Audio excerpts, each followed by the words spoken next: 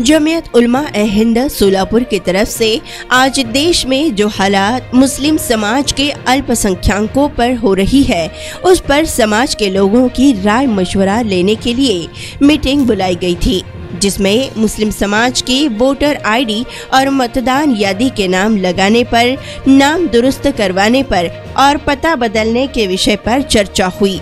और इस मौके पर शिक्षक गदवाल ने जो माइनॉरिटी पर किताब लिखी है, उस पर भी चर्चा हुई।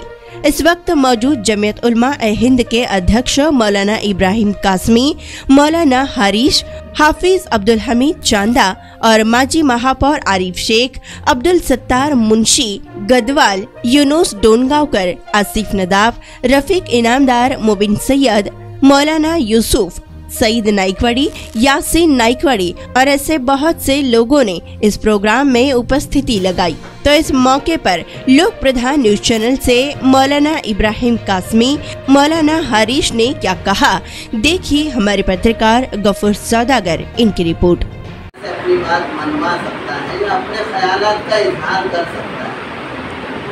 वो तबका भी मसाइल के बारे में जो है। ना यानी उनको अब सीरियस होना पड़ेगा। मतलब जो हालात हो गए हो गए। मतलब अब क्या है कि अपने को सोच कर कोई तो एक एक्शन प्लान बनाना होगा।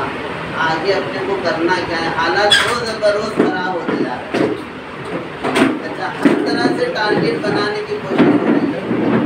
तो कानूनी तौर पर जहाँ तक अभी अलहमदिल्ला हमारे साथ जनाब अब्दुल रहीम सर भी है यहाँ पर आप में से अक्सर लोग जानते हैं सर को सोशल कॉलेज के प्रोफेसर भी हैं अभी इन्होंने एक किताब लिखी है कि माइनॉरिटीज़ कॉन्स्टिट्यूशनल राइट्स अकलियतों के अल्पसंख्यक के जो दस्तूर में और कानून में जो उनके अधिकार हैं, उनके जो राइट्स हैं। तो एक मसला इस वक्त मुसलमानों का ये भी है कि जो हमारे संविधान में हमारे हुकूम हैं, हम उसका भी सही फ़ायदा नहीं उठा सकते। उसके लिए हम उनको जिम्मेदार नहीं, बल्कि खुद को जिम्मेदार ठहरा कि अपने मज़हब पर अमल करने की आज़ादी, उसकी इशात की आज़ादी, अपने पसंद के इदारे खोलने की आज़ादी, अपने तहजीब की हिफाजत, अपने कल्चर की हिफाजत, ये सब हमको अधिकार दिया गया है बुनियादी तौर तो एक तो ये चीज़ थी। दूसरी चीज़ जो है ना, एक बात आपके सामने इस वक्त जो मेहनत चल रही है, वो भी आपके सामने लाना था। हमारे दीन में सियासत अलग चीज़ नहीं है बल्कि वो हम उसको दीन का एक हिस्सा ही मानते हैं। हम लोग तबई तौर पे सियासत में नहीं रहते ना हमको उन चीज़ों से दिलचस्पी नहीं रहती है, लेकिन हम हमेशा ये चाहते हैं कि ऐसे लोग रहें उसमें जो संजीदा हों, जो मुल्क के कानून के मुताबिक सबके लिए बराबर का हक देते हैं। अभी देखने में यह आ रहा है कि कुछ सालों से ख़ास कम्युनिटी को टारगेट बनाया और हर तरह से परेशान करने की कोशिश हो रही है। उनकी तंजीमों को, उनकी जमातों को, उनके हालात को फिर ईमान पे हमला है, उनके अकायद पे हमला है, तहजीब पे हमला है, उनकी इबादत गाहों पे हमले हैं। बहुत सारी चीज़ें हो रही हैं। मीडिया में बाकायदा ऐसी साजिशें हो रही हैं कि किसी तरह हिंदू एक तरफ़ हो जाए, मुसलमान एक तरफ़ हो जाए, ताकि उनको फ़ायदा हो जाए। तो ये सारी साजिशें, सारी चीज़ें आपके इल्म में है ही।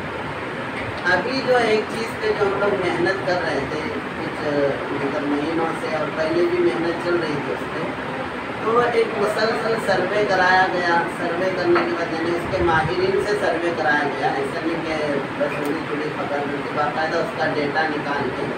तो कश्मीर से कन्याकुमारी तक जो सर्वे हुआ, उसमें ये मालूम हुआ कि तीस फ़ीसद लोग ऐसे हैं, जिनका वोटर लिस्ट में रजिस्ट्रेशन ही नहीं।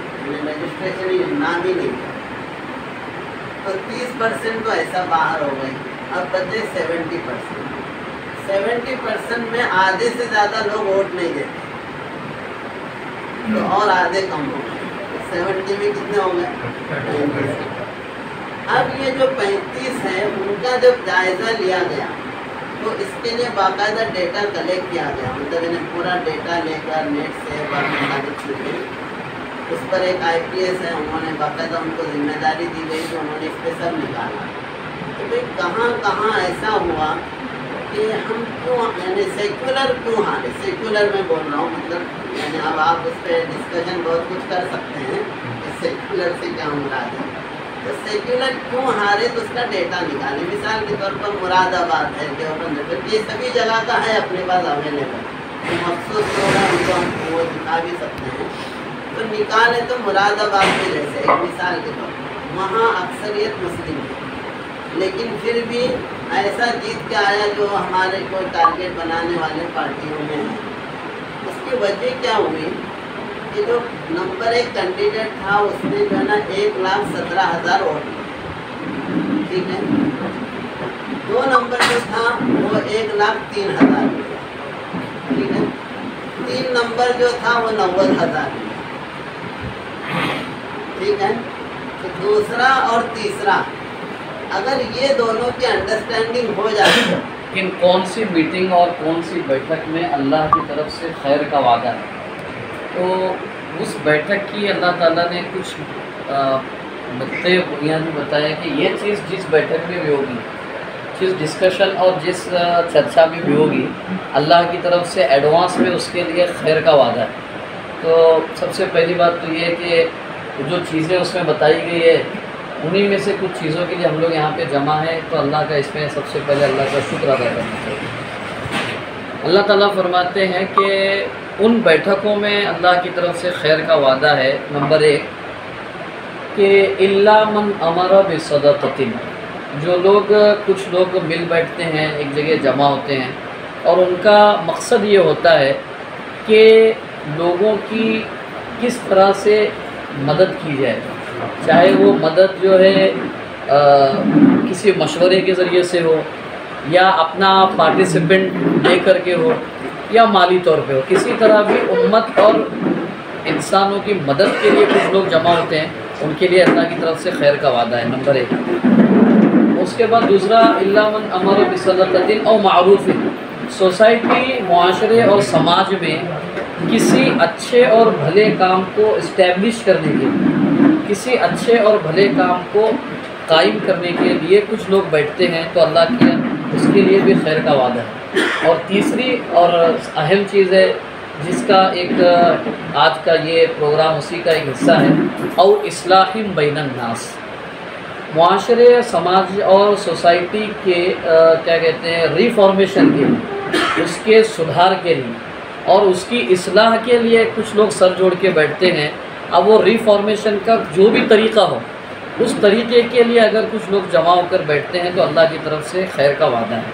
तो बहर कैफ अल्लाह तबारक ताली का बेानतहा एहसान फजल है हम पर कि हम लोगों ने अपने वक्त में से कुछ वक्त इस आयत का हकदार बनने के लिए यहाँ पे हम लोग जमा हैं। अल्लाह ताला हमें उसका बेहतर बदला दुनिया आखिरत में दे।